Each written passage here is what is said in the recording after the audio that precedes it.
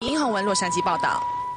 在亚兰要来看到这个美食哦，一般人认为烹煮大餐一定会耗时又费钱，可是美国一家知名的华人食品业者专门产制中式酱料，让观众能够用简单的酱料就能够变出美味的佳肴。而业者更是举办了一场盛大的厨艺会，将中华料理融合西式的创意，不仅超吸睛，更是成功的展现了中华饮食文化的新趋势。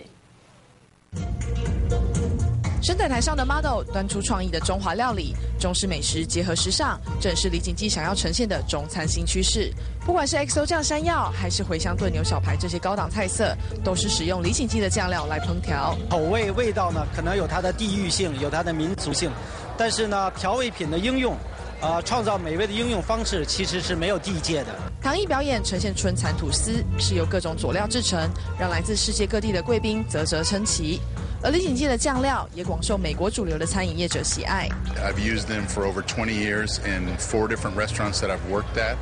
and I will continue to use them. They are very authentic, they are loaded with flavor, and they're very consistent.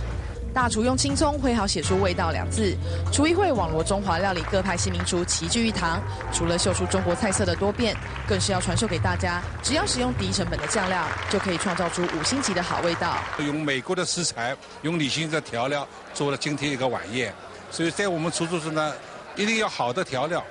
再加上我们好的呃烹调方法，这个结合起来就是最好的产品。